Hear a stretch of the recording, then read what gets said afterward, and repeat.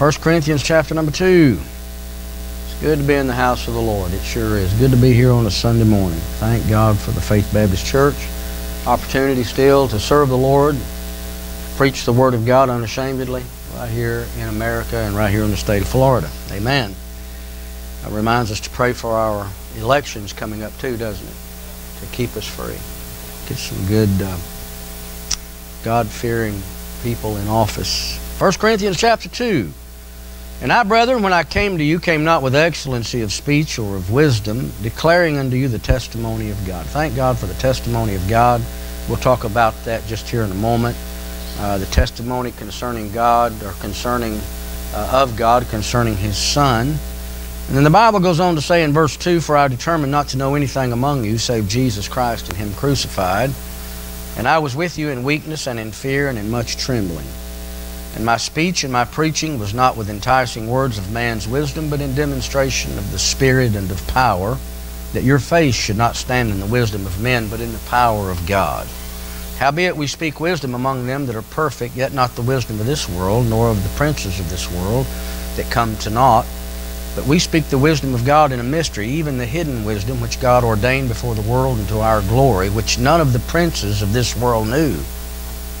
For had they known it, they would have not have crucified the Lord of glory. Let's pray. Father, we thank you for your goodness. Bless the reading of thy word. Now I pray that you bless the preaching of your word, dear God. And for those that's never trusted Christ, may they listen intently, dear God, and receive you before it's eternally too late. For we ask it in Jesus' name. Amen. Amen. Now, you and I both know that God wants us to understand His Word. God wants His children to understand the Word. He wants the world to understand His Word. I want my children to understand. When I say something, I want them to understand. I had the Lord give us five children as they grew up. When I said no, I wanted them to understand that I meant no. And I would enforce that. If I said yes, I meant yes. Our nay needs to be nay, and our yea needs to be yea. God wants His children to understand His Word. Now, the Bible, let me talk about understanding just a little bit. The Bible says in Matthew chapter number 13, verse number 15, listen to this verse. For this people's heart is waxed gross, and their ears are dull of hearing, and their eyes have they closed, lest at any time they should see with their eyes and hear with their ears, and should understand with their heart, and should be converted, and I should heal them. No one is saved apart from the Word of God. No one is saved apart from understanding what the Word of God declares concerning His Son, the Lord Jesus Christ. Now, let me read to you in Matthew, Matthew, chapter 15. Let me just give you a couple of verses about this understanding. Matthew chapter 15 and, and uh, verse number 10. And he called the multitude and said unto them, Hear and understand. Hear and understand. God places no premium on ignorance. God wants you to understand. He wants you to understand, and hopefully and prayerfully, I will preach in such a manner that will help you to understand. I know the Spirit of God opens your understanding, and I'll give you verses here to prove that just in a moment. Matthew chapter 15, verse number 17, Jesus said, Are ye also yet without understanding? Do not ye yet understand? Verse number 17. And then, of course, we have in Matthew chapter number 16 and verse number 11, how is it that you do not understand? Just go through your Bible and just underline those phrases, or how many times the Bible speaks of understanding being important. Every time that Paul was about to announce a major doctrine, you remember what he would say? I would not have you to be ignorant, brethren, concerning. He said that concerning spiritual gifts in 1 Corinthians chapter 12, 13, and 14. He also said that about the rapture of the church in 1 Thessalonians chapter number 4 and verse number 13. God wants you to know some things. And so pay attention and listen and ask God to open your understanding. Look at Luke chapter 24. You see, the Lord can open your understanding. The Bible says in Luke chapter number 24, everyone turning along with me, in Luke chapter number 24, and uh, notice in, um, well, look at verse 32 and then we'll look at 45. The Bible said in Luke 24, verse 32, and this is the Emmaus disciples, they said one to another, Did not our heart burn within us while he talked with us by the way, and while He opened to us the Scriptures. So then faith cometh by hearing, and hearing how? That's Romans 10 17. If you'll notice there in the beginning, or actually when the Lord showed up on the road to Emmaus, He began to expound upon Himself, uh, expound the things of Himself out of the Scripture, out of, the, out of Moses and the prophets. And of course their heart burned, and the Lord opened their understanding, opened the Scripture. If you'll notice in verse 45, speaking of the disciples, the Bible said, Then opened he their understanding that they might understand the Scriptures. It's very important to understand the Scriptures. Now, I'm going to go back to 1 Corinthians 2, but before I do, I'm going to Ephesians chapter 1. Ephesians chapter 1. Walk with me through the Scripture. Now, hopefully, hopefully when you come to church, you know on Sunday morning, Sunday night, that we're going to be busy with the Bible. We're going to be busy looking through the Scripture. And I want you to have some Scripture. I want you to underline it. Sometimes I'm told I go too fast through the Scripture. Uh, we do put this on YouTube. We do have a tape or a CD of it. And so any message that you would like to, to get and hear again, you're welcome to get it. Just ask those in the sound booth. And they'll make sure that you get a copy. Ephesians 1. Again, no premium in the Word of God placed on ignorance. We need to hear, we need to understand. The Bible says in Ephesians chapter number 1, verse number 13, in whom, speaking of Christ, verse 12, speaking of Christ, Jesus, verse 13, in whom you also trusted, after that you heard the word of truth. So we need to hear so we can understand, hear so we can believe. We trust after that we hear the truth. We just don't come to the altar as some churches proclaim and some people proclaim in their own testimony. Well, I didn't know what the preacher said. And you've heard this. This is not made up. This may be even your testimony. If it is, you need to check it out. But I have heard it all of my life. I didn't even know what the preacher said. I went to the altar and there was a weight lifted off of me. I didn't even know what he was preaching on. I didn't. You're not going to get saved apart from knowing who Christ is and what He's done for you. You're just not going to. So you had a religious experience. You had a real a feeling of ec ecstasy or something. I don't know. But nevertheless, the Bible says in verse 13, in whom you also trusted, after that you heard the word of truth. We had to hear the word of truth to trust. And then it tells us what we had to hear, the gospel of your salvation. And the gospel of our salvation, of course, is is in, in the gospel is revealed, Romans 1.17, the righteousness of God. And we need the righteousness of God imputed to our account before we can ever go to heaven. The righteousness of God, according to Romans chapter 10, verse number 4, is the person of the Lord Jesus Christ. So we need to hear about Him. We need to find out about Him. Uh, I, I need to find out enough about Him to trust Him. To trust what He did on Calvary is sufficient to to satisfy the demands of a holy God. I need to find that out. And so I get in the Bible, I hear the word of truth, the gospel of my salvation, in whom also after that ye believed, you were sealed with that Holy Spirit of promise. When was I sealed with the Holy Spirit? When I believed it. When was I sealed? When was I saved and placed in the family of God? When I believed it. When I asked or when I prayed a certain prayer or when I believed God. Then why do we add those other things to it? Isn't that a good question? You see, when we begin to add things to Calvary or add things to the gospel, then we make the cross of none effect, is what 1 Corinthians chapter 1 says. The gospel is the death, burial, and the resurrection of Christ, if we'll read in 1 Corinthians chapter number 15. But the moment you add something to it, and by the way, religion has added a lot to it, but especially in our ranks, the gospel ceases to be the death, burial, and the resurrection of Christ, but now it's the death, burial, resurrection, and prayer. Am I right? Am I right? So we've added something there. We've added something that you can do to gain audience with a holy God. And you think that collection of words somebody led you in here at the altar or somewhere else is going to get you to heaven. My dear friend, my Bible says when you believe God, you were sealed with the Holy Spirit of promise. When you believe God. Now, if you're praying when you do it, that's fine. You want to pray, and, I, and we call upon the name of the Lord continually as a child of God. We continue to call and we continue to pray. So I'm not minimizing the effectiveness of prayer, but I'm here to tell you that your prayer did not save you. What Christ did on Calvary saved you.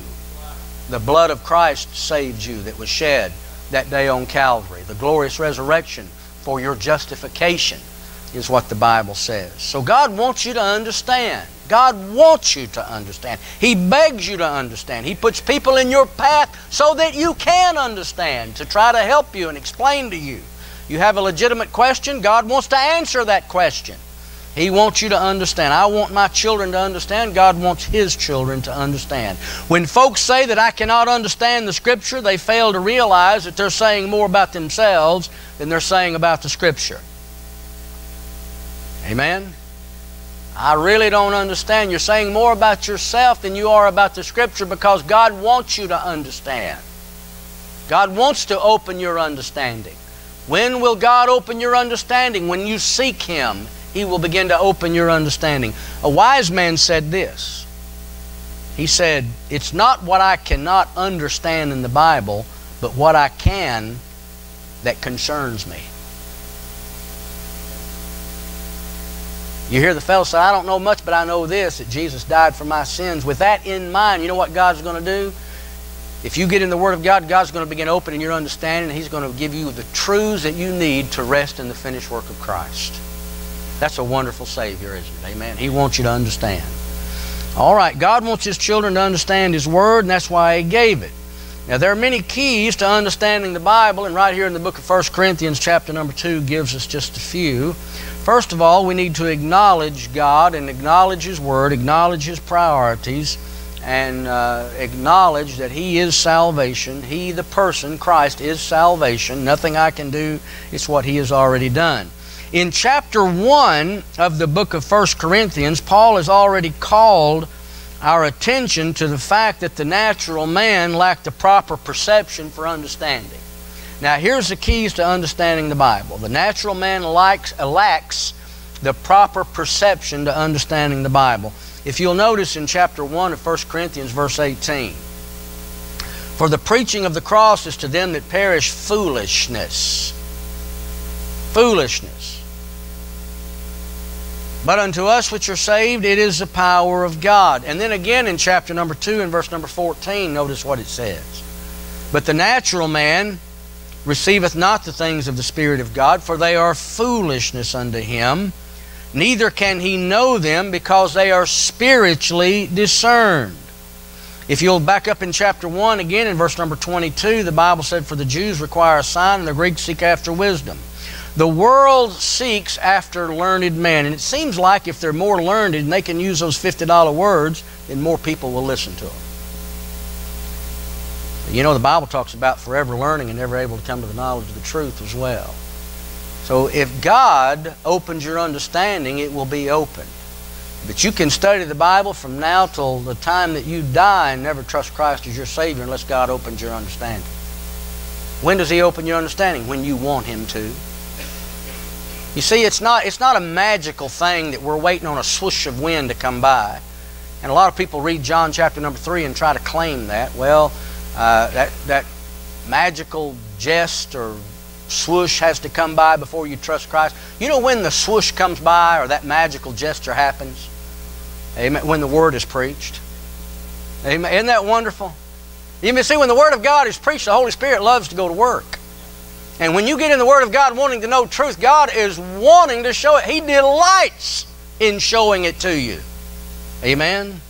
So He wants to open your understanding. And so if I study and seek Him with all of my heart, God has promised me that He will reveal Himself to me. That's what He said in Jeremiah 29 13 and other, other, many other places in the Word of God. All right, now, however, God chooses. Now, again, the world seeks after uh, strength and after learned men and everything like that, but God chooses the weak and foolish rather than the powerful and the wise. Notice verse 20 of chapter 1. Where is the wise? Where is the scribe? Where is the disputer of this world? Hath not God made the foolish, had God made foolish the wisdom of this world? And then verse number 29 tells us why he did it. 1 Corinthians 1, verse 29. Why does he do all of that? Why does he choose the base things and the weak things and the despised things and the things which are not? That no flesh should glory in his presence. That's why he does it. Amen. The world views tell us that this book is nothing in the world but a collection of man's thoughts to suppress your real potential. Basically, that's the quote I got just the other day from an individual. It's nothing in the world but, but, but a book, a collection of man's thoughts to suppress what you really can be. That's not true. That's not true. Again, Romans chapter number 1, verse number 22 says, professing themselves to be wise, they became as fools. They became fools. Only a foolish man would say this is not the Word of God. Only a foolish man would say there is no God, is what the Bible says. Amen? The world tells us, of course, that this book is not necessary. This book is everything to us. It's our life, it's our light, it's our path. Amen? Um, but uh, the world says uh, that it's nothing in the world but silly affirmations. They talk about the miracles that we preach, the Red Sea and raising the dead and creation, all a bunch of myths. For one man to die on a cross to save creation is absurd. Did you know what my Bible tells me? They can laugh if they want. 2 Peter chapter number 3 said, For this they are willingly ignorant. They mocked God, made fun of God, made fun of the, uh, the miracles of the flood, made fun of the Lord coming back, saying it's a myth. I've heard it for years, but let me tell you what Psalm 2 says. Psalm 2 said God's going to get the last laugh. Amen. God's going to get the last laugh.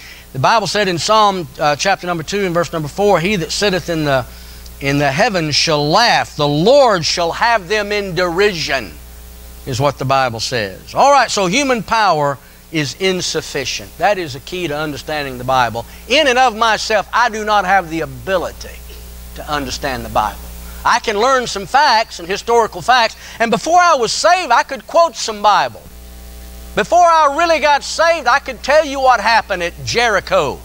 I can tell you that Rahab let the scarlet cord down. And I can tell you because I took a test on it. And my instructor, Brother Bill Long, put the question, what did the cord represent? And I put the blood of Christ. I learned those things. I learned just enough to pass a test but, ne- test, but never knew the significance of it. You see, you can learn all day long, forever learning and never able to come to the knowledge of the truth. The truth is that Jesus Christ died and shed His blood for you. For you for you. It becomes effectual when you believe it. When you believe it. When you believe Christ. All right, so human power in and of itself, in and of man's self, is insufficient. The first key is realizing the insufficiency of man. When you realize that, God can go to work. We open the Bible, begin to read, God begins to open our understanding. Now, if you'll notice there in 1 Corinthians chapter number 2, verse number 1, when, when, and I, brethren, when I came to you. When did he come? Well, if we'll search the scripture, we'll go back to Acts chapter number 18. We'll find in the second missionary journey, Paul came, of course, to the Corinthians, preaching to the Corinthians the death, burial, and the resurrection of the Lord Jesus Christ. How did he come? In verse number 1, he came not with excellency of speech or of wisdom, declaring unto you the testimony of God uh, did not come with excellency of speech. Did you know that I've, I, I, I know this? I hear words in people's sermon that I have to go look up. My daughter heard one last week and she said I had to go home and look it up. That someone said and she, she Googled it. Thank the Lord for Google. Amen. Oh, is it? well, they're letting me use it. All right, so nevertheless, I, I go, found out what this word meant. Well, I've learned if basic, now I, I grant you I am from Tennessee and my vocabulary is limited. Anybody that's ever grew up in those those there parts, you'll know it's pretty limited. And and uh, what we get, what we get, we're real proud of. Okay, in the English language. So uh, but if I have to look it up, the odds are that a lot of other people have to look it up as well. So I, if you'll keep it simple, and I think that's what Paul did. Did you know that Paul was learned in the learning of his day? Paul could match wits with anybody. Ask him. Read about him. Ask him. He went to the University of Tarsus. He was he was schooled at the feet of Gamaliel, one of the greatest uh, uh, rabbis that, that, ever lived. Uh, his, his stature was of importance. Now I'm talking about his physical stature wasn't that good to look at, what I can understand. But his, you, don't, you don't give a wimp marching orders from the Sanhedrin to go hail Christians. I mean, he had to be a man's man. He had to be pretty, his stature and his thought and his, his learning. But yet he said that he didn't come with excellency of speech or of wisdom. He came, of course, preaching Jesus Christ, the simplicity of the gospel. But I fear lest by any means, as the serpent beguiled Eve through his subtlety, so your minds should be corrupted from the simplicity that is in Christ. That's what he wrote over in the book of 2 Corinthians 11. You see, so he wanted to keep it simple. I'm reminded, too, when I preach, I'm reminded of a, a story I read about the people left the church and, and um, the little girl looked up at mama and daddy saying, uh, Where is Jesus? Where is Jesus? Now, that little girl, the story I read, she was a little bitty girl, and there was supposedly, and we don't know what Jesus looks like, but this is the story I read. There was a picture of Jesus behind the pastor, behind the preacher, whoever was preaching, in the story I read. And she said, I didn't see Jesus today. Where was Jesus? And the mother and daddy says, What do you mean, honey? Where is Jesus? She said, Well, that man that was up there today stood in my way. You know what I got out of that? I wonder how many of us stand in Jesus' way when we're opening the Bible and preaching the, the Word of God. I wonder, I wonder in order to make ourselves look good and, and, and, and choose the, the, these $100 words that people don't understand, I wonder I wonder just, just how far we go of hiding Jesus. And we need to proclaim. And I'm not saying that, that we are to pride ourselves on ignorance. There was a fellow up there in Tennessee one time said, Thank God I'm getting ignoranter and ignoranter. Yeah. Well, he proved his ignorance, Brother JC. He had John the Baptist on the Isle of Patmos. Yeah. But you know, we don't we don't praise God for our ignorance. We need to we need to get into Scripture and learn, but we need to keep it down here on the shelf so people can reach it and grab it and get a bite of it. Amen. That's right. Thank God for the Lord Jesus Christ. The simplicity of the gospel. So human power is insufficient. That is a key to understanding the Bible. There's nothing that in and of myself that I could do to ever gain that, that truth. That, that truth. I read the Bible, but God has to open my understanding. He said that in Luke 24. And uh, thank the Lord He does. And age is no concern. God shows it to young people, He shows it to middle aged people, He shows it to old people. Amen. He shows it to those that are handicapped, He shows it to everybody. Anybody that's willing to, to open their Bible or to listen to the message, God will open their understanding. Now, God uses humble people too. Thank God He used Moses here in 1 Corinthians chapter number 2. The Bible says uh, he used Paul. Did I say Moses? Well, I'm about to talk about Moses. Is why I said Moses. He uses Paul in 1 Corinthians 2, but he used Moses in Exodus chapter 4. He's, Moses said in Exodus 4:10, "O my Lord, I am not eloquent, neither heretofore nor since thou hast spoken unto thy servant, but I am slow of speech and of slow tongue." Jeremiah said in Jeremiah chapter number 1, verse number 6, Ah, Lord God, Behold, I cannot speak, for I am a child. Isaiah said, I am undone, a man of unclean lips. The psalmist said, I'd rather be a doorkeeper in the house of my God. You know what all of them had in common? Humility. All of them had in common was humility. And that's what we need to do. Amen. We need to remain humble. And uh, you've heard the old saying, too. I always thought that individual was humble till he told me so. I'm a humble man. Oh, don't, how many times you heard that? The first, when I hear that, I say, yeah, right. Amen. When, when a, a humble person doesn't go around proclaim it, it just shows. It just shows. All right, now, we, we found out, of course, when he came and how he came, and I'm going to close with this and maybe look at some more of this in 1 Corinthians chapter 2 tonight, so you need to come back tonight at 6 o'clock. All right, number three, why he came. Why he came. He came declaring unto you the testimony of God. That's what he came to do. Came to declare. Brother Dana sang about it all. I sure enjoyed the order of the song service or the theme of the song service. He came to declare the testimony of God. Isaiah said in Isaiah chapter number 8, verse number 20, to the law and to the testimony, if they speak not according to this word, is because there is no light in them. Paul said, testifying both to the Jews and also to the Greeks, repentance toward God and faith toward our Lord Jesus Christ. Acts chapter number 22, Paul said, they will, they will not receive, well, the Lord Jesus said to Paul, they will not receive thy testimony concerning me.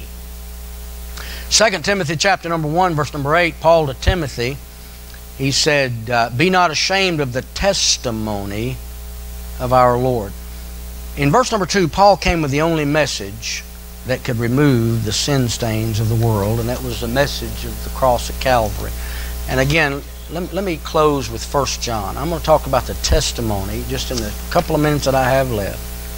The testimony of God concerning His dear Son. One of the keys to understanding the Word of God is to realize that it's not of human sufficiency. It's not does not rest in human power.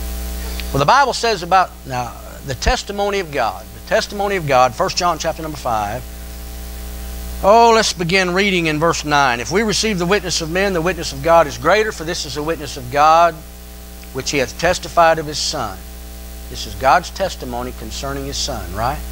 Which He, God, has testified of His Son. He that believeth on the Son of God hath the witness in himself. He that believeth not God hath made him a liar, because he believeth not the record that God gave of His Son. And this is the record that God hath given to us eternal life, and this life is in His Son.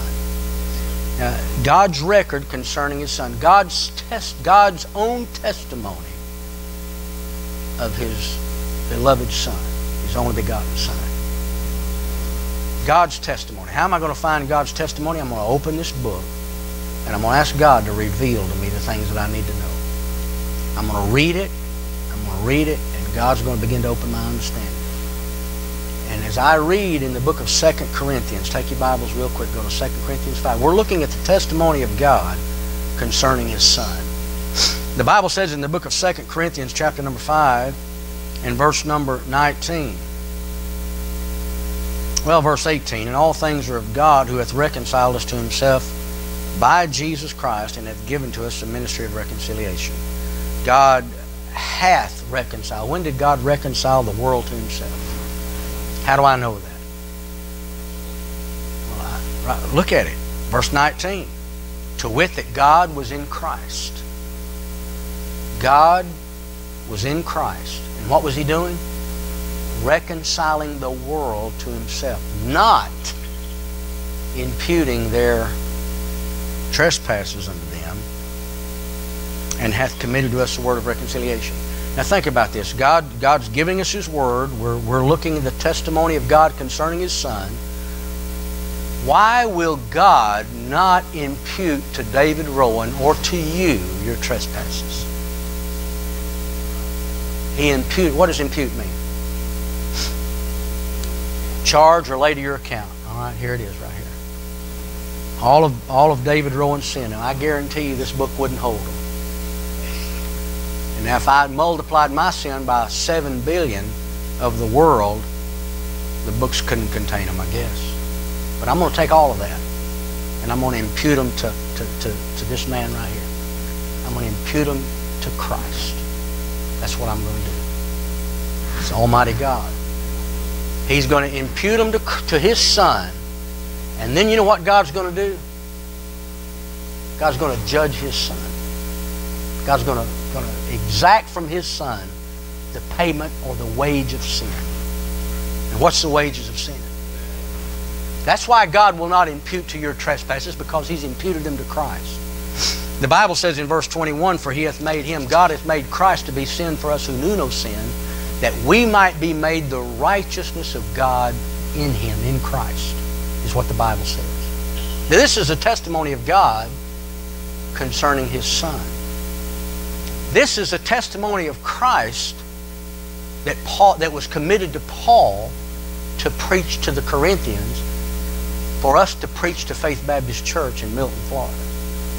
You see, not only did God reconcile the world, turn over to Colossians chapter number 1. Colossians 1. Go with me quickly. If you don't if you don't have your Bible, listen intently. If you do have your Bible, don't miss out. Turn with me. Turn with.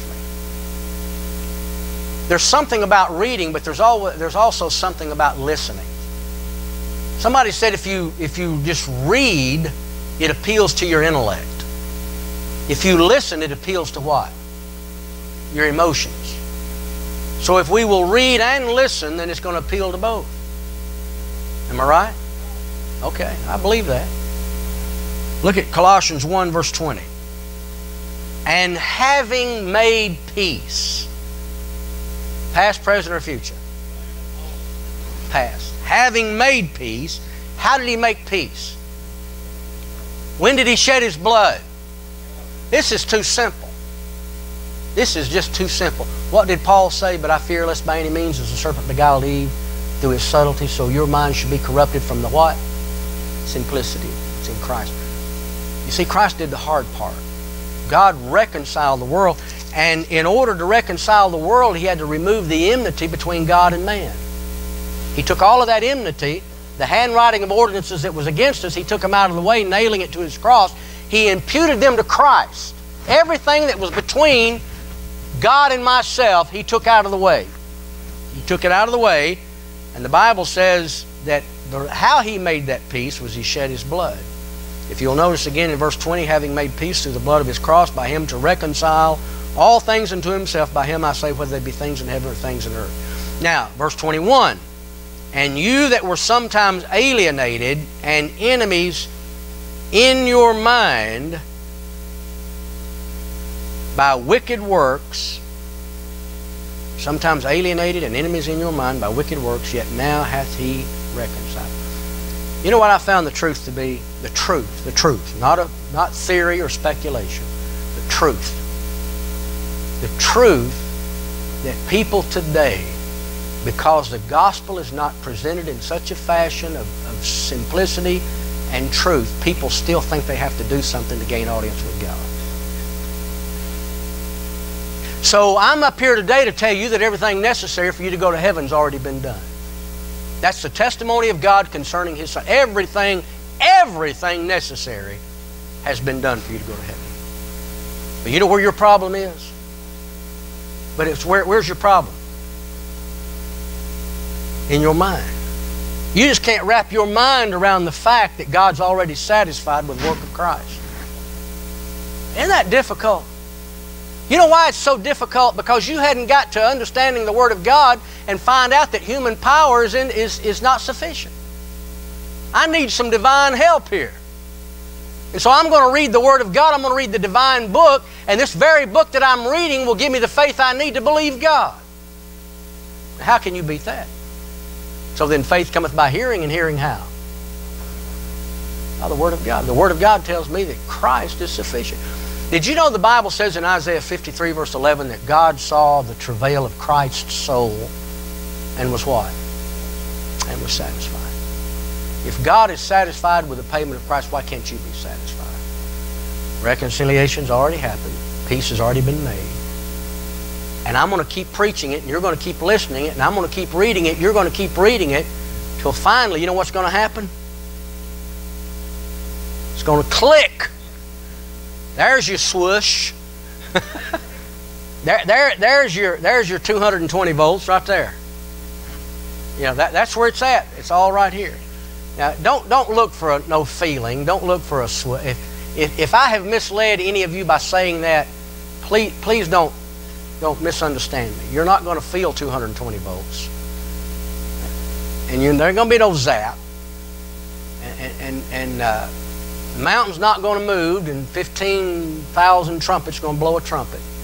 Now, they may up in heaven, you just might not hear it, I don't know, but all the angels rejoice at one soul coming home. Amen. But when you'll come to that knowledge of the truth, and, and it's been there all the time. Good night. How did I miss it? How, how did I? I'll tell you why you missed it because you kept thinking that you could do something. That's why you missed it. But today, God has shown you that everything necessary for you to go to heaven has been done in the person of the Lord Jesus I just throw my hands up and say, Thank you, Lord. Let's stand to our feet. Brother Dana, if you'll come, please. Heavenly Father, we love you. We do thank you for your mercy and goodness. We thank you for salvation. We thank you for Jesus. I pray during this invitation time that hearts would touch, minds, dear God, would be thinking and dwelling upon the finished work of Calvary.